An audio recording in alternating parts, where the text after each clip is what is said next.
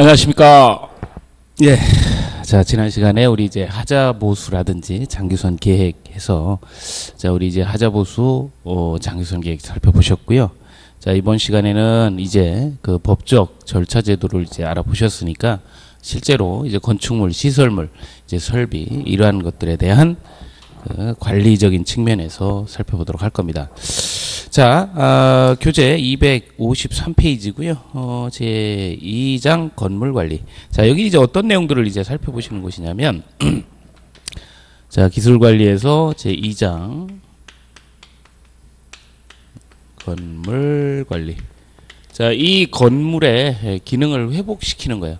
그러면 기능이 왜 떨어지는지, 기능이 왜 떨어지는지를 알아야 됩니다. 그래서 이 기능 어, 저하 요인이 어떤 것들이 있는지 알고 또 기능을 어떻게 예, 그렇죠 회복시킬 것이냐 어, 기능 회복 방법에 대해서 이제 살펴보시는데 저기 여기에서 이제 이러한 건축물이 어떻게 만들어졌느냐를 살펴보고 가요. 그게 바로 주택 건설 기준 등에 관한 규정입니다.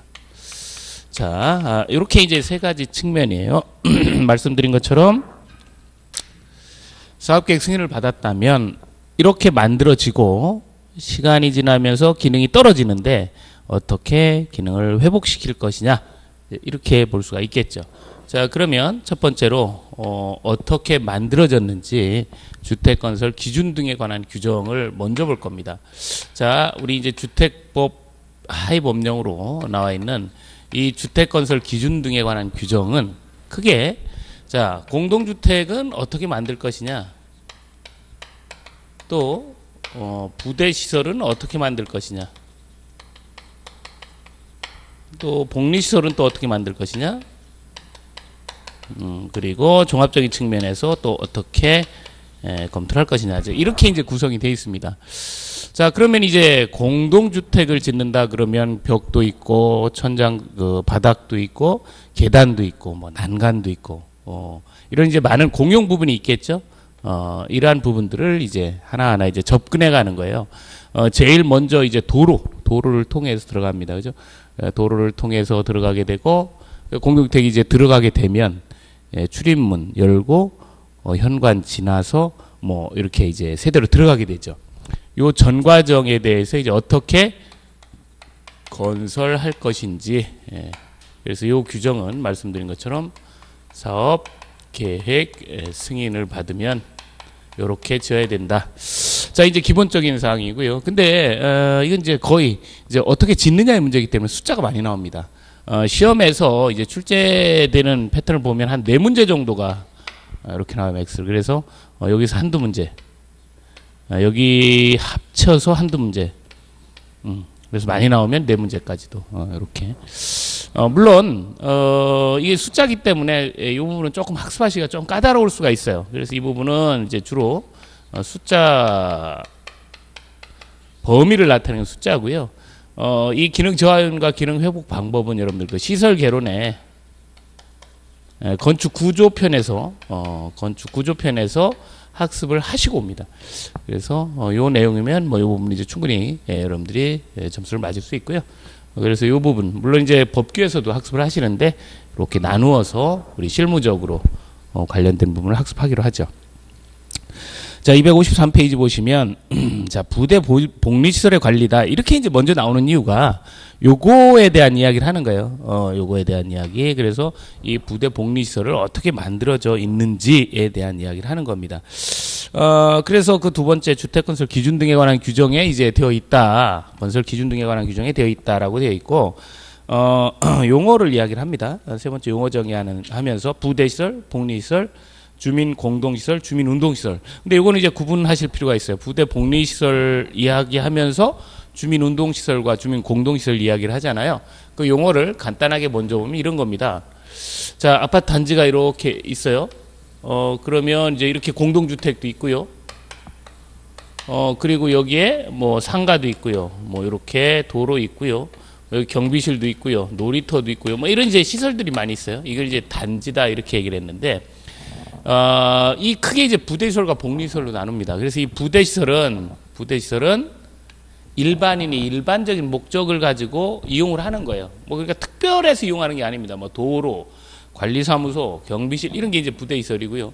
복리시설은 특별히 이용 목적을 가지고 이용을 하는 거예요. 뭐 상가라든지 또 특정인이 이용을 합니다. 아, 어린이 놀이터라든지 경비실 그죠? 일정 연령에 또 이렇게 해당해야지 또 하지 않습니까?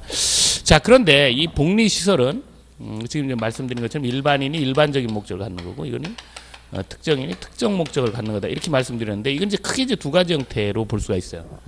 하나는 그렇죠 분양을 한 거예요. 분양을 해서 입주자 아, 공유가 아닌 복리시설이 있고 어, 분양하지 않은 거 그건 입주자 공유죠. 공유인 복리시설이 있습니다.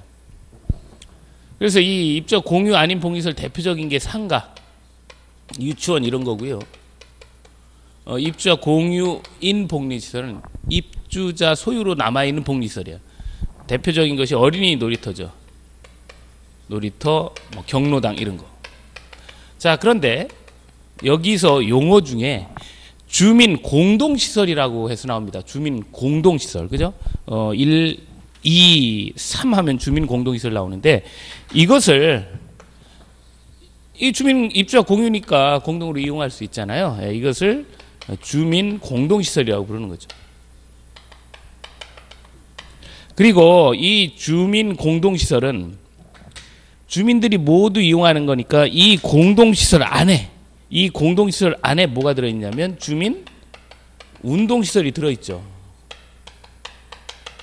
그래서 우리 이제 254페이지 3 하단부의 3 주민 공동 시설에 에, 밑에 두 번째 줄 보시면 주민 운동 시설도 주민 공동 시설이 그죠? 이것뿐만 아니고 뭐 이런 것들 다 주민 에, 공동 시설이 됩니다. 그래서 이 개념이 뭐 글자 한 글자 차이잖아요, 그죠? 근데 이제 전체적으로 이 부대 시설, 복리 시설 어, 복리시설은 두 가지 형태. 그래서 이 주민공동시설엔 주민운동시설도 들어있다. 이렇게 일단 구분은 하실 수 있어야 돼요. 어. 자, 아, 이렇게 해서 이제 에, 정리를 한 다음에 이제 255페이지로 갑니다. 시설의 배치 예, 이렇게 나와요. 이제 무슨 얘기냐면 이 단지 내, 이 단지 내에 공동주택을 이렇게 이제 배치를 할 거 아닙니까? 그러면 이 안에서는 이제 거주를 하죠, 이렇게.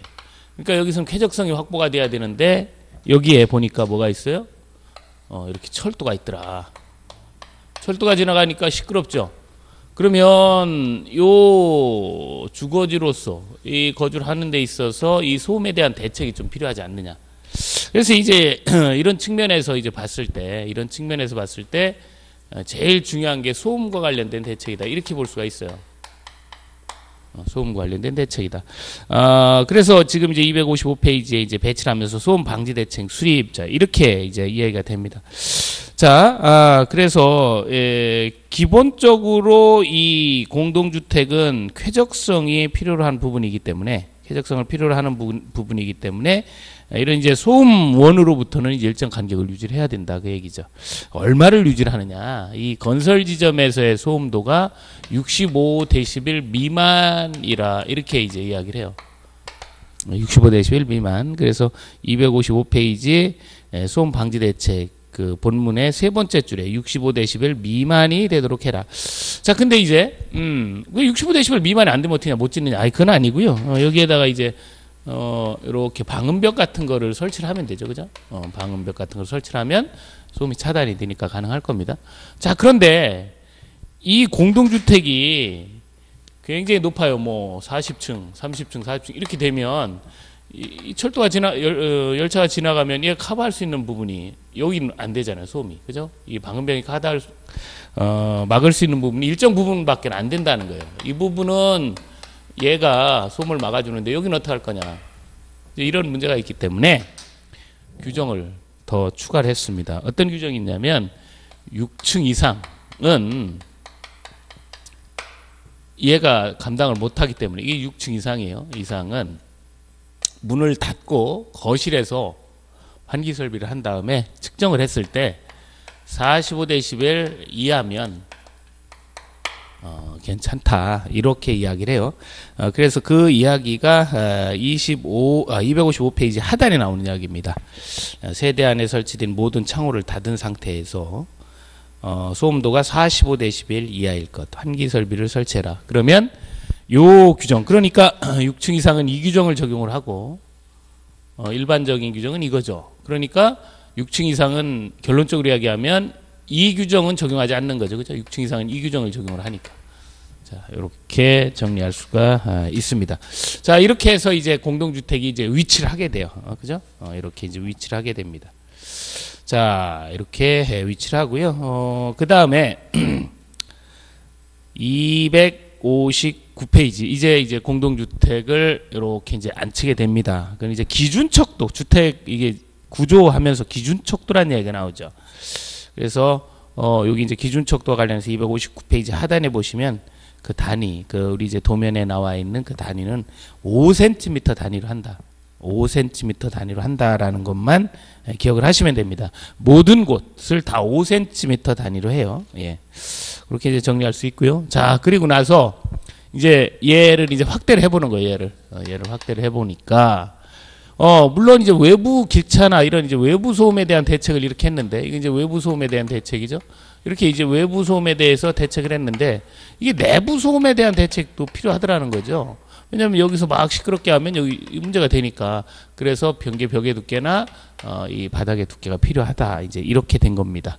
그래서 요 내부 소음에 대해서도 이제 고민을 하게 되는 거죠. 그래서 이 경계 벽을 두툼하게 해야 되겠다. 경계 벽의 두께. 또 바닥, 그렇죠? 어, 바닥의 두께. 그래서 집을 지을 때 지금 이제 주택 건설 기준 등에 관한 규정이잖아요. 집을 지을 때 이 정도 이상은 해야 된다라는 거예요. 그래서 어 260페이지에 세대 간의 경계벽 하면서 구조를 이야기를 합니다. 그래서 이 구조에 따라서 구조에 따라서 어떤 구조냐? 철근 콘크리트 구조다. 그러면 15cm 이상. 그죠? 어.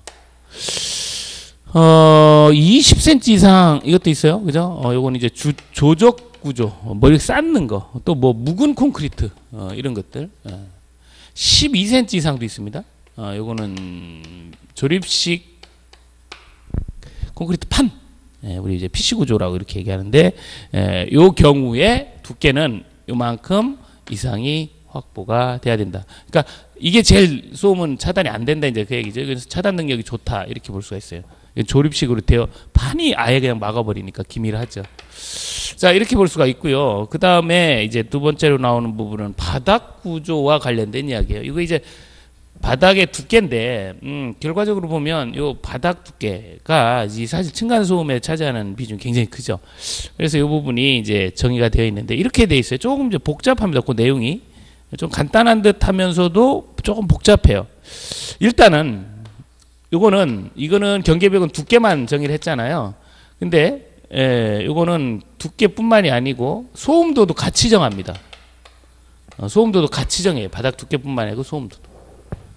어, 그래서 이 바닥 두께는 210mm 이상이 돼야 된다 이렇게 얘기를 해요. 물론 이제 라멘 구조라든지 어, 이런 것들은 210mm가 나오질 않죠. 그래서 이런 것들은 150mm 이상만 돼도 어, 인정을 하겠다라고 어, 이야기를 합니다.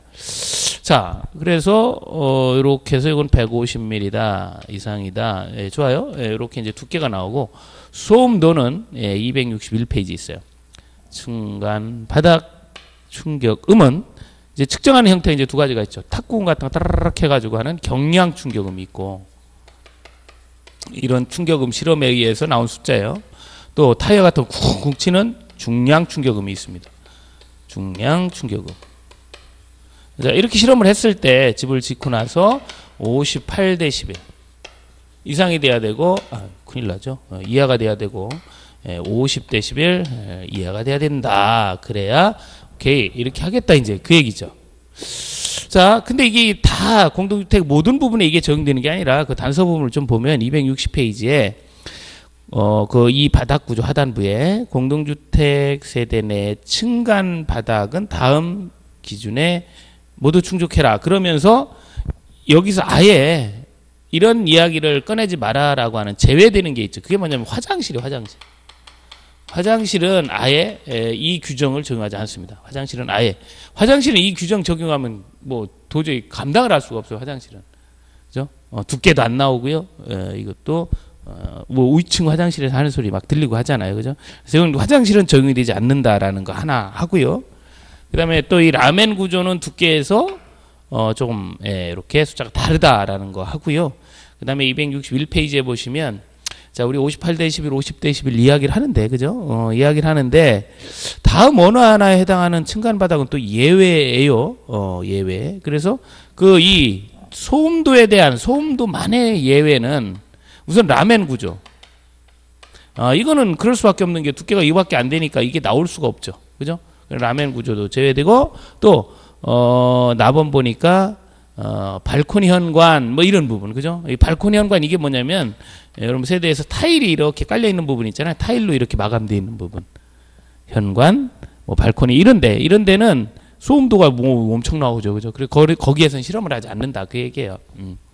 그래서 결과적으로 이렇게 정리가 됩니다.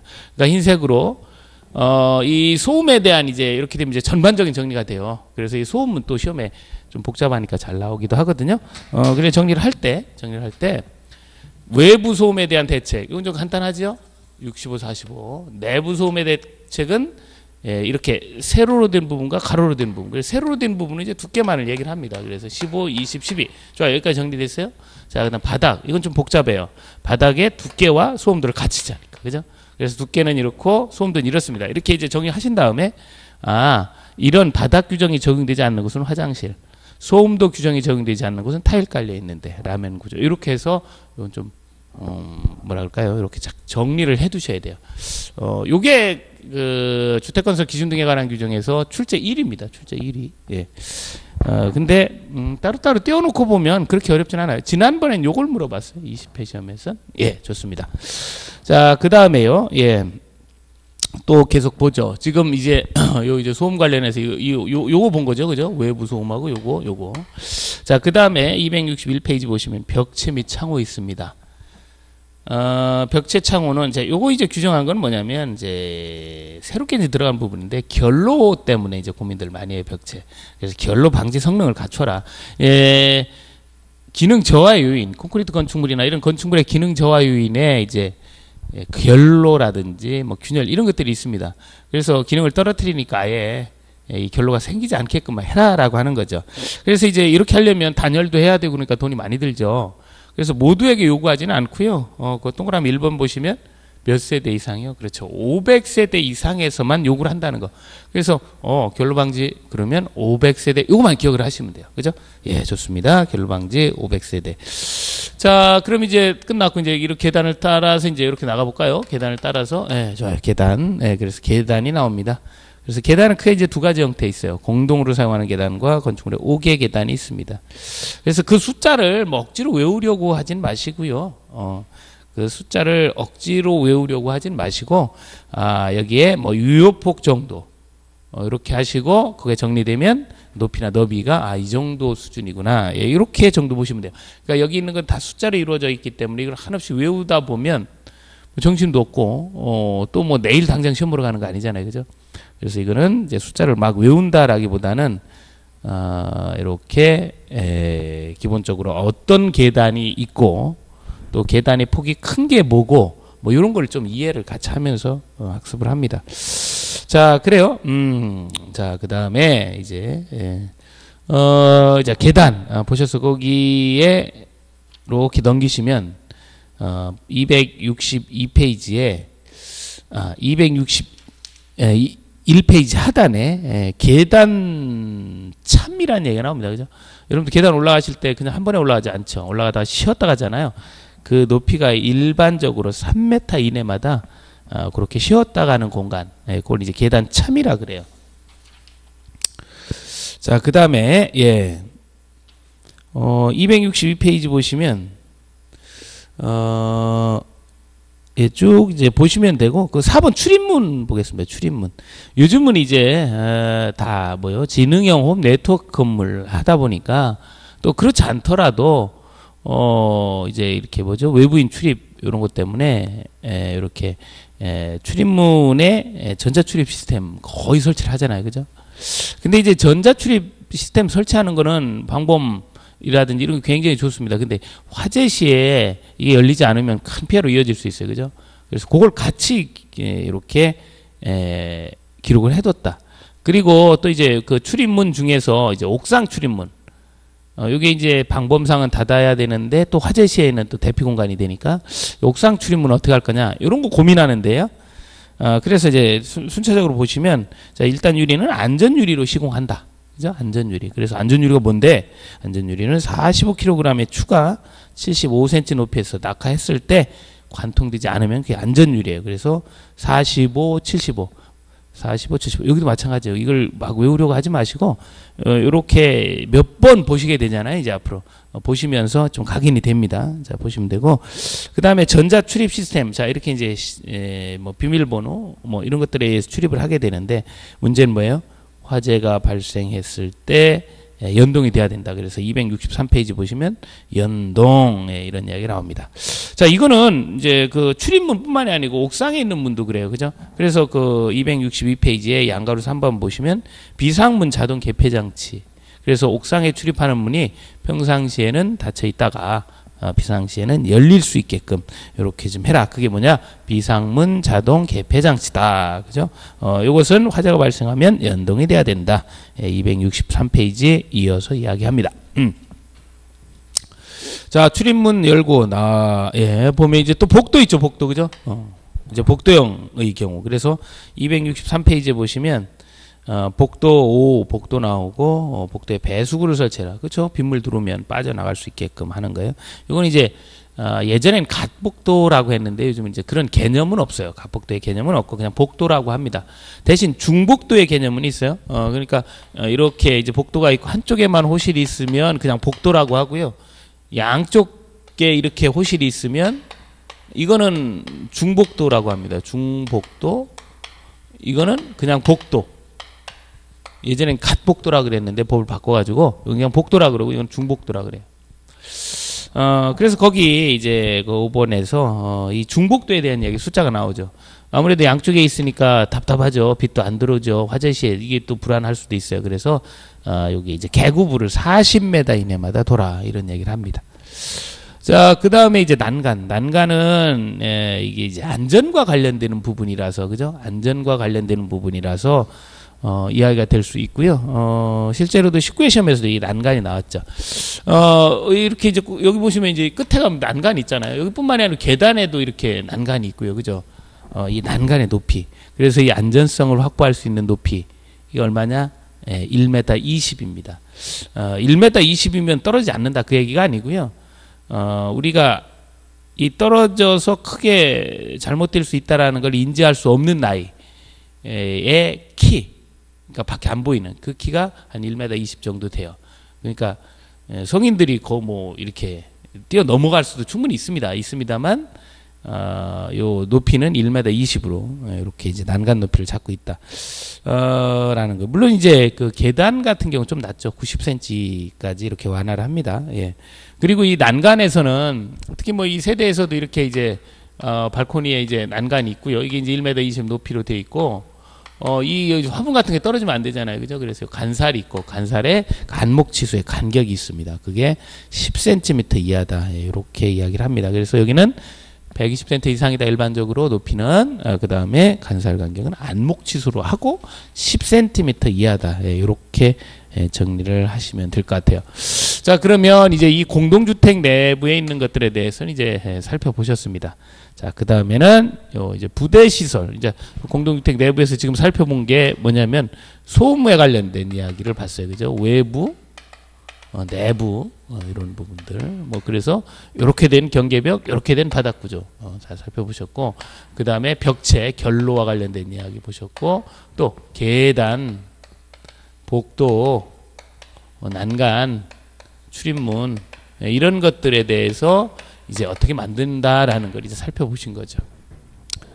자, 아, 이렇게 보셨고 이제 부대 시설로 이제 넘어가는데 이제 부대 시설의 이제 대표적인 건 도로입니다. 어, 누구나 이용하는 거 그죠? 일반인이 그냥 일반적으로 이용하는 거 대표적인 게 에, 도로죠, 도로.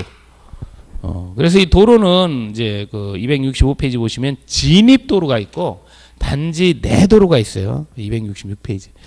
진입 도로는 시험에 안 나오고요. 실문 요 안에 있는 거. 요 단지 내 도로에 대해서 이야기가 되죠. 그래서 이 단지 내 도로는 어, 이게 어떻게 생겼다 정도는 이해를 하셔야 돼요. 어, 그래서 이 단지 안에 도로는 이제 어떻게 생겼냐면 이렇게 생겼어요. 이렇게. 그래서 기본적으로 도로라고 하면 요 폭이 예, 기본적인 폭이 7m 이상이 되면 7m 이상이 되면 반드시 1.5m 이상의 사람이 다닐 수 있는 보도를 같이 설치를 해야 돼요. 어, 7m 이상이다. 또 폭이.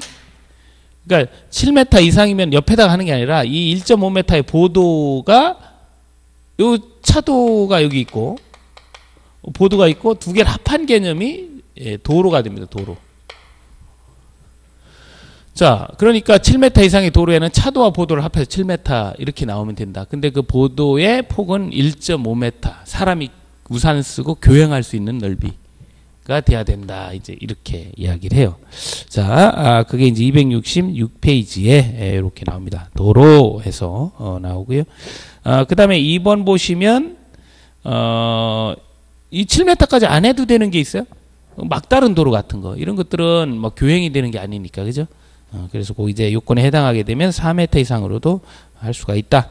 이제 3번에 보시면 이 단지 내에서 도로가 반듯반듯 이렇게 안 해요. 이렇게 약간 유선형으로 굽어 있습니다.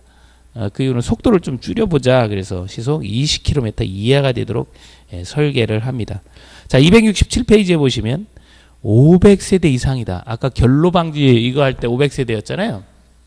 여기도 지금 또 나오죠. 500세대 이상이다 그러면 뭘 하냐면 어린이 안전 보호구역, 어린이 안전 보호 구역을 설치해라. 이게 뭐냐면 스쿨버스 같은 거 타고 내리는 그 존을 만들어라는 거죠. 어. 어디? 500세대 이상이면.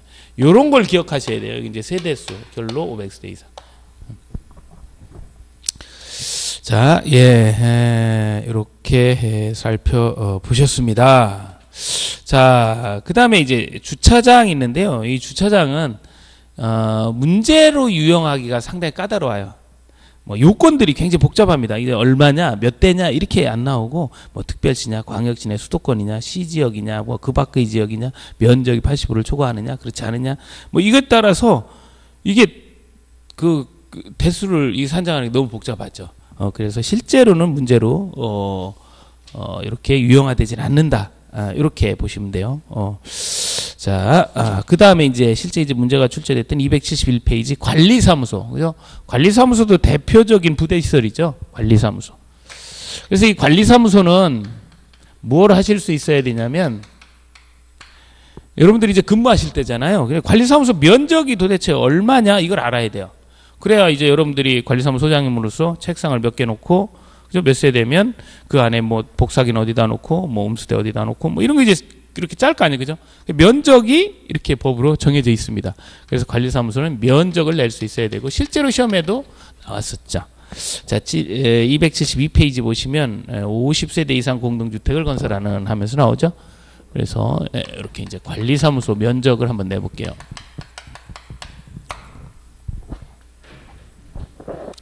자, 50세대 이상이다. 그러면 10제곱미터를 줘요. 그래서 50 초과되는 매 세대마다 500 제곱센치를 더해 줍니다. 근데 이게 메타고 이게 제곱센치니까 이걸 환산해 놔야 계산을 할 수가 있죠. 그래서 이걸 0.05 제곱미터예요. 환산하면 네. 그러면 가령 350세대의 관리사무소 크기가 얼마냐 이렇게 물어보면 50 플러스 300이죠. 그죠? 50은 10이고요.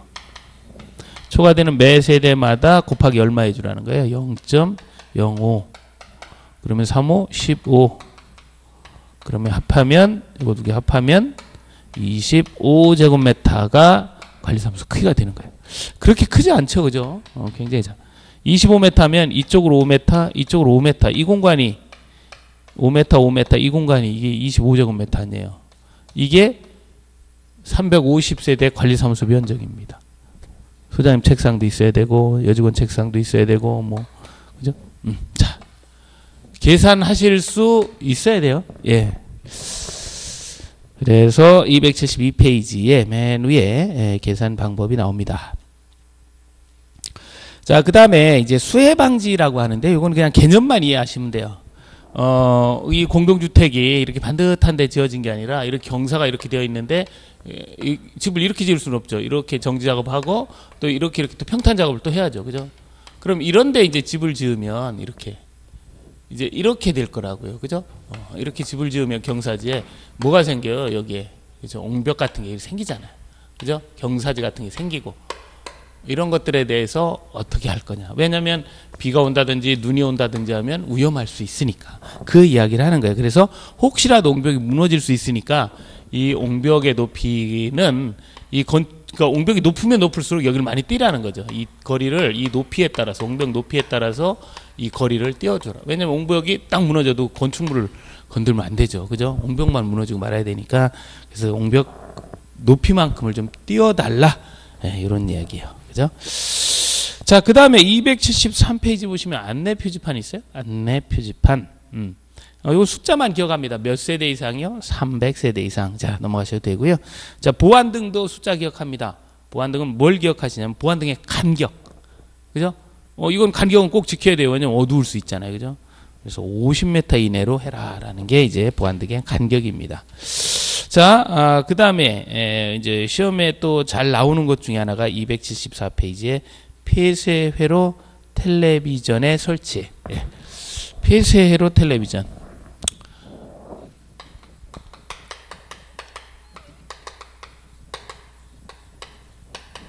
음, 폐쇄로 텔레비전 있어요. 폐쇄로 텔레비전의 설치. 자, 이렇게 이제 이야기를 하는데, 어, 뭐 어린이 놀이터, 또 뭐 승강기, 뭐 이런 출입기에 보면 이제 폐쇄로 텔레비전이 있잖아요. 자, 근데 이 폐쇄로 텔레비전에서 꼭 기억하셔야 될 게 이제 두 가지가 있는데, 하나는 화소수예요. 130만 그 카메라의 화소수가 이상이 돼야 됩니다. 130만 화소. 그리고 카메라가 있으면 모니터가 있어야 돼요. 이건 당연한 거 아닙니까? 그러니까 카메라 수와 모니터 수가 같아야 되죠. 근데 카메라 수는 엄청 많죠. 순간기만 해도 출입구만 해도 놀이터만 굉장히 많은데 그 모니터 감당을 못하니까 이 모니터를 어떻게 하냐면 분할을 하죠. 그럴 때 분할할 때 최소 최소 그 이 모니터의 그 분할 최소 간격은 예, 4인치 이상이 돼야 돼. 음, 그래서 여기는 130만 화소하고 요 4인치 이상 해야 된다라는 이야기를 꼭 기억을 해둬요. 자, 274페이지 보시면 예, 그 폐쇄로 텔레비전에 설치했고 의무관리 대상 공동주택이라면 아, 이렇게 해라. 그래서 그 설치 기준에 그 주택법 시행령 이렇게 되는데 이건 공동주택관리법입니다. 공동주택관리법 어, 의무관리 대상을 얘기를 하고요. 어, 그래서 설치 기준에 1번 보시면 승강기 어린 놀이터 각동 출입구마다 이제 설치를 하는데 예, 2번 나오죠. 화해 해상도는 130만 화소 좋습니다. 자 그리고 예 동그라미 3번의 그 박스 안에 가본 보시면 어, 1대1로 이렇게 볼 수가 있어야 되는데 그 대각선 방향의 크기는 4인치 이상을 해라. 자, 좋습니다. 그리고 275페이지 보시면 자, 자료를 30일 이상 보관해라. 예. 자, 이렇게 돼 있네요. 그죠? 음. 자, 이렇게 해서 어, 부대 시설까지 보셨고요. 어, 그다음에 이제 복리 시설입니다. 자, 복리 시설은 우선 그 입적 공유 아닌 거 있죠? 이게 이제 275페이지에 상가 이걸 이제 우리가 이제 상가라고 부르는 거고요. 어, 건축법에서는 근린 생활시설 예, 이렇게 이제 부르죠. 근린 생활시설이 있고 또 유치원도 있어요, 그죠? 뭐 특별히 중요하지는 않습니다. 뭐 2,000세대 이상이면 유치원 짓는다 정도만 어, 기억을 하시면 될 것 같고요. 자, 그 다음에 이제 276페이지에 이제 세 번째 주민 공동시설이에요. 그죠? 이거는 이제 입주민 공유인 복리시설을 주민 공동시설이라 이렇게 이제 불렀잖아요. 그죠? 그래서 이 주민 공동시설에 대한 에, 이야기. 어, 이 주민 공동 시설이요. 예, 복리시설에서 이 주민 공동 시설이 음, 개념을 이제 최근에 좀 바꿨죠. 예전 개념 설명드리고 요즘 개념을 이제 법이 개정된 개념을 좀 설명을 드리면 예전에는 이랬어요. 세대 수가 얼마냐에 따라서 이 세대 수의 연동해서 유치원 경로당 이런 것들의 크기가 결정이 됐어요. 아, 유치원이 아니죠. 어, 지금 공동시설이니까 어린이 놀이터, 경로당 뭐 이런 것들이 세대수에 따라서 결정이 됐어요. 그러니까 예를 들면 이런 겁니다. 천세대다. 그러면 어린이 놀이터도 천세대만큼, 경로당도 천세대만큼의 크기로 결정이 됐어요. 근데 가만히 생각해 보면 천세대라 그래서 이게 두 개가 다 클 필요가 없더라는 거예요.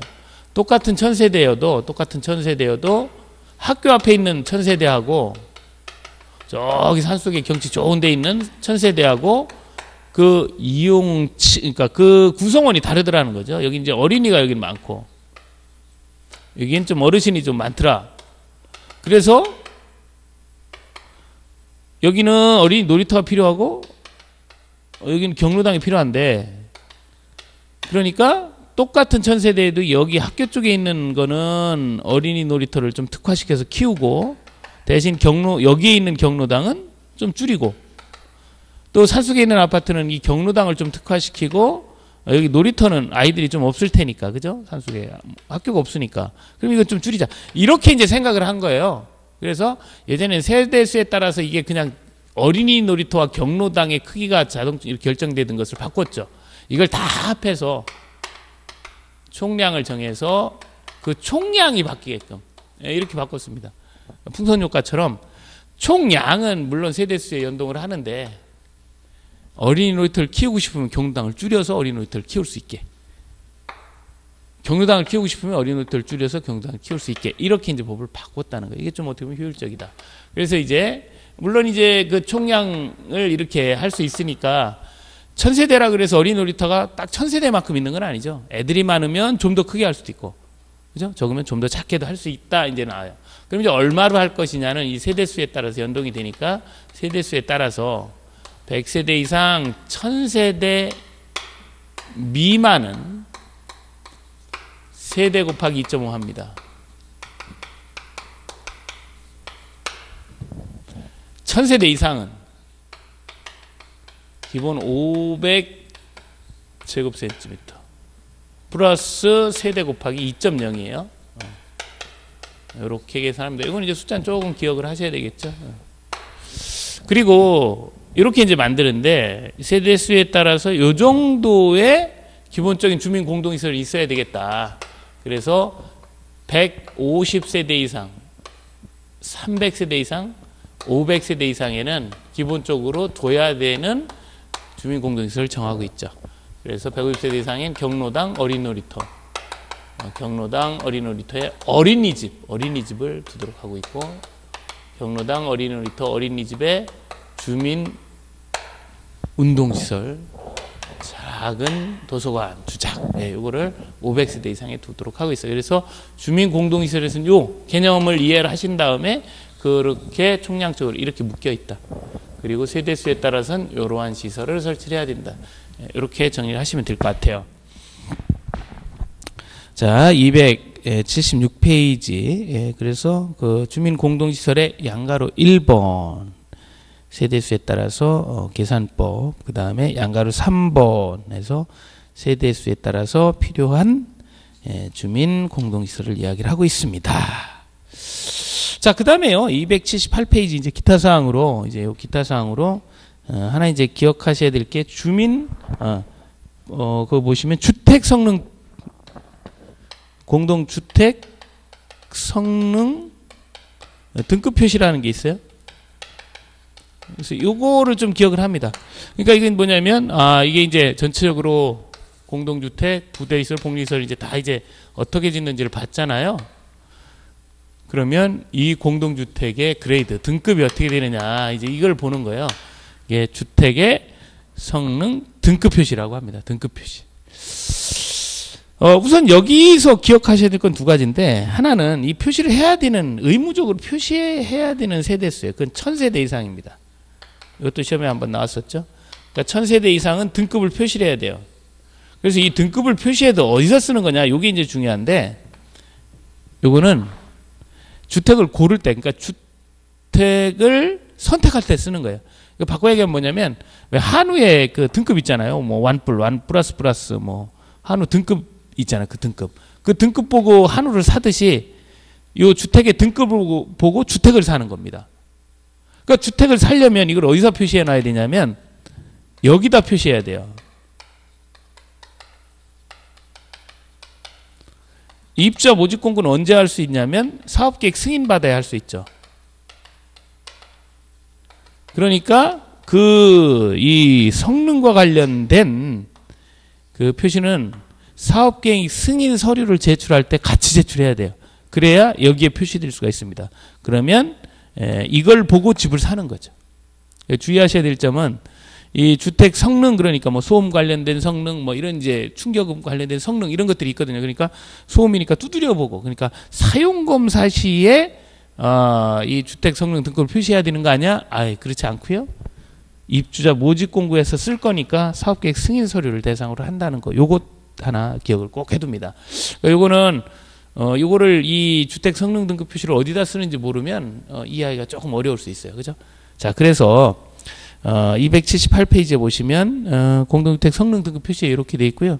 거기에 1번 사업 주체가 1000세대 이상 맞죠? 1000세대 이상의 공동주택을 공급할 때에는 입주자가 알 수 있도록 다음 각 호의 공동주택 성능에 대한 등급을 발급받아 정하는 방법으로 어디에 입주자 모집 공고에 입주자 모집 공고에 표시해야 된다라는 거예요. 여기. 그죠? 이 입주자 모집 공고는 집을 지어 놓고 모집하지 않죠. 짓기 전에 하죠.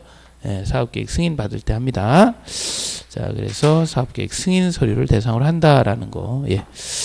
자, 이렇게 예, 살펴보셨습니다. 음. 자, 어, 이렇게 이제 예, 보셨어요. 이렇게 이제 보시면 되고, 어, 이제 다음 시간에는 여기 두 가지. 예, 도대체 균열 결로에 의해서 얼마나 저하되고 또 어떻게 뭐 이제 방수를 처리하고 뭐 단열 처리할 것인지 이제 다음 시간에 진행을 할게요. 예, 잠시 쉬겠습니다. 수고하셨습니다.